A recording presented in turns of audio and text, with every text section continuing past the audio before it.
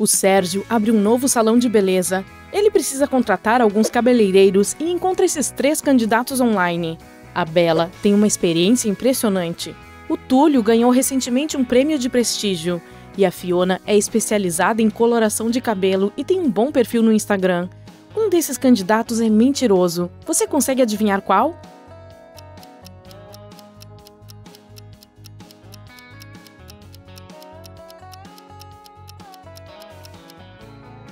A Bela diz que tem 25 anos de experiência profissional, mas de acordo com seu perfil, tem apenas 22 anos. Isso é impossível. Portanto, ela é a mentirosa. O Sérgio convida o Túlio e a Fiona para irem ao salão de cabeleireiro para uma entrevista de emprego. Ele quer testar a inteligência deles e envia a cada candidato este mapa. Você pode ajudá-los a encontrar o destino certo?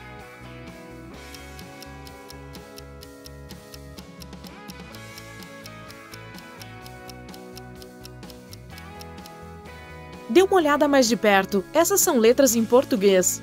Para entender o que está escrito no mapa, é preciso remover esse ícone.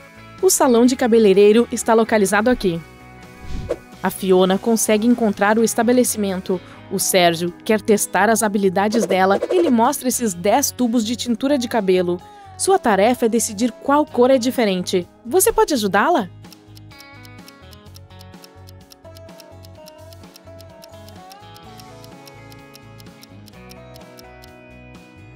Essa aqui.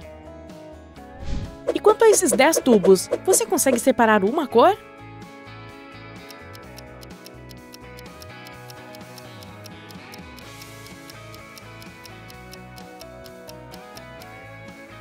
O quinto não deveria estar aqui.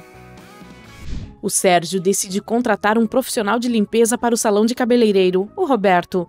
O dono do local pede que o rapaz vá todas as quartas-feiras eles concordam com um pagamento de R$ reais por dia, mas se o Roberto faltasse um dia, teria de pagar R$ reais ao Sérgio. Depois de 15 semanas, descobriu-se que ambos devem o mesmo valor um para o outro. Quantas vezes o cara da limpeza faltou ao trabalho?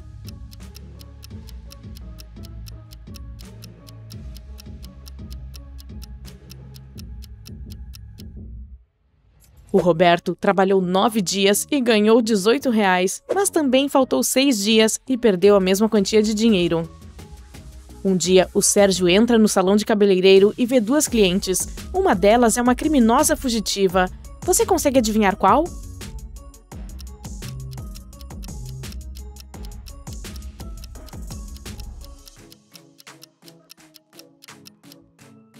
A mulher à direita está apenas fazendo um penteado, enquanto isso, a da esquerda está mudando completamente a cor do cabelo para parecer diferente. Portanto, ela é uma criminosa. No domingo, o Sérgio dá uma festa de aniversário em casa. Ele convida várias pessoas. No meio do evento, decide mostrar a um amigo seu novo relógio de diamantes, mas percebe que o acessório sumiu. O cara tem certeza de que o ladrão está entre os convidados e identifica vários suspeitos. A Violeta diz: Eu vim para cá para ficar de olho na minha irmã, então fiquei com ela o tempo todo. A Janete responde: Acabei de chegar porque fiquei presa em um engarrafamento. Todos estão voltando do trabalho para casa. Que chato! E o Marcos afirma: Desculpe, eu estava com tanta fome que nem saí da mesa. Quem é o mentiroso?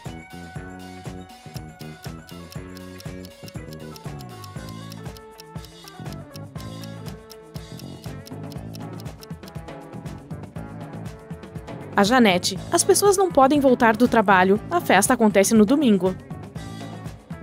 Na festa, o Sérgio serve dois pratos com biscoitos. Você consegue encontrar alguma diferença entre eles?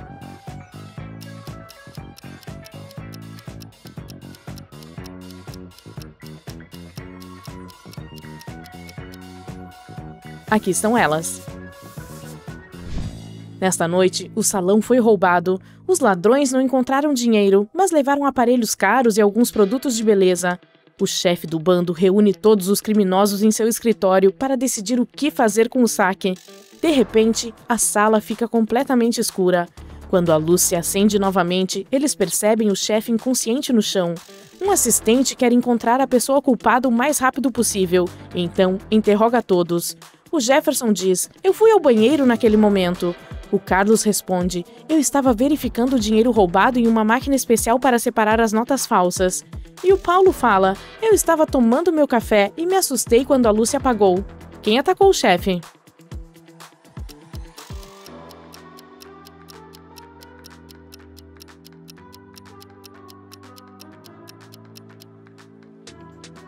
Carlos disse que iria verificar o dinheiro, mas não havia grana entre os itens roubados, apenas aparelhos. Portanto, ele é um mentiroso. Na manhã seguinte, o Sérgio entra no salão de cabeleireiro e fica sabendo do roubo, então chama a polícia. Um policial chega rapidamente e examina a cena do crime, mas não encontra sinais de arrombamento. Ele questiona três testemunhas, a Fiona, a cabeleireira, afirmou: Ontem terminei meu último corte de cabelo às 17 horas e fui para casa. A Emma, funcionária da limpeza, respondeu: Terminei a faxina às 20 horas, tranquei todas as portas e fui para casa. E a Mia, artista de unhas, diz: Tive um dia de folga porque estava participando de uma festa de aniversário. Quem está mentindo?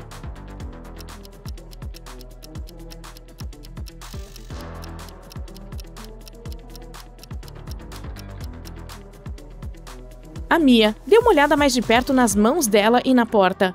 Uma das unhas postiças está faltando porque está presa na fechadura. O Sérgio está escolhendo novos espelhos para o salão de cabeleireiro. Você pode ajudá-lo a identificar qual deles não é falso?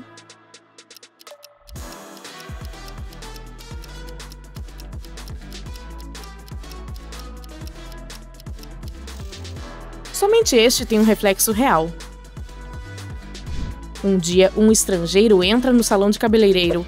Ele não fala português e se comunica com emojis. Você consegue adivinhar o trabalho dele?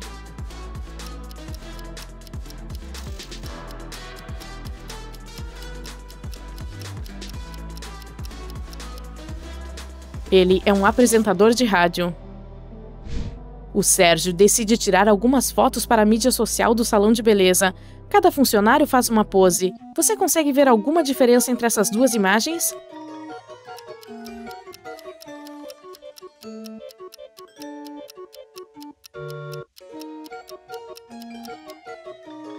Aqui estão elas. O Sérgio chega a uma nova loja de produtos de beleza. Ele se perde no porão e a porta atrás dele se fecha. Então, precisa digitar um código de cinco números para abri-la. Você pode ajudá-lo a decifrar a senha?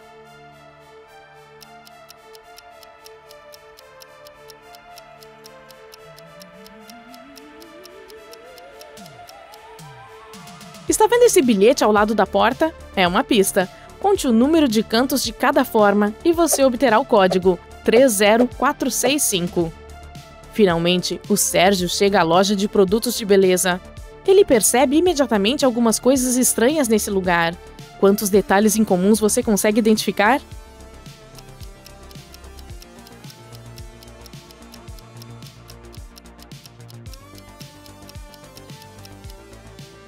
Há um frasco de ketchup em uma prateleira com shampoo.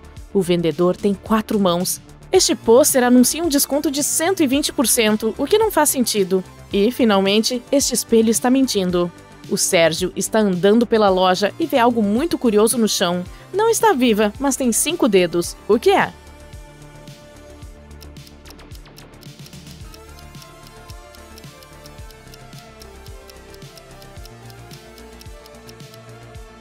É uma luva. O cara está comprando uma coisa. Ele vende uma mina e é cercado por madeira. Todos o usam. O que é?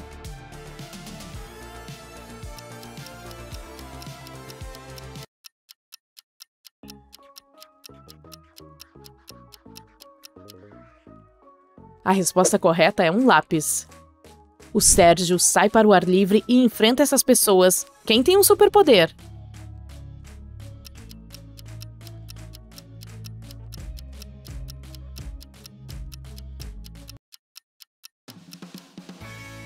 É este cara. Nas férias, ele convida a namorada para brincar de esconde-esconde na floresta com três amigos. De repente, eles encontram uma casa abandonada.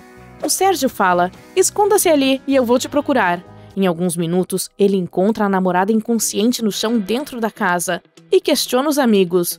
O Túlio responde: Me escondi no pátio atrás da fonte. A Pamela diz: Decidi não brincar e estava lendo um livro no banco. O Alex afirma: Eu estava me escondendo no jardim entre as rosas. E o Danilo fala: Eu me escondi deitado atrás das árvores. O Sérgio pede a todos que mostrem suas mãos. Você consegue adivinhar quem é o culpado?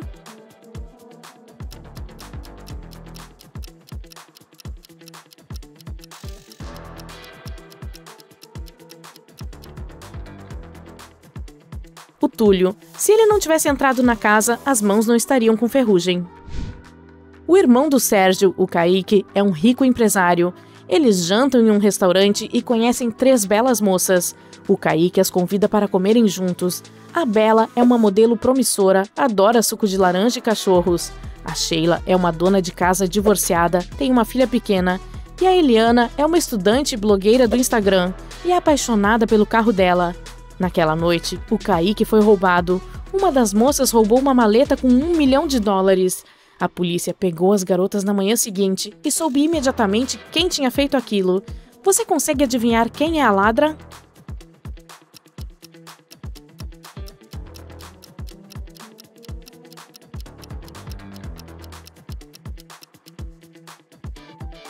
A Eliana. Alguém foi às compras. De manhã cedo, o Sérgio abre o salão e se depara com uma surpresa desagradável. Alguém havia derrubado um vaso de flores e deixado uma bagunça no chão. O Sérgio questiona três suspeitos. A Fiona argumenta: Ontem eu tinha um encontro, arrumei meu local de trabalho e saí às 18 horas. O Roberto fala: Lavei todo o espaço e fui para casa às 20 horas. Minha esposa pode confirmar minhas palavras. E a nova artista de unhas, a April, diz: Ontem eu não tinha nenhum cliente, então fiquei assistindo a vídeos o dia todo e saí mais cedo. Você consegue adivinhar quem é o culpado?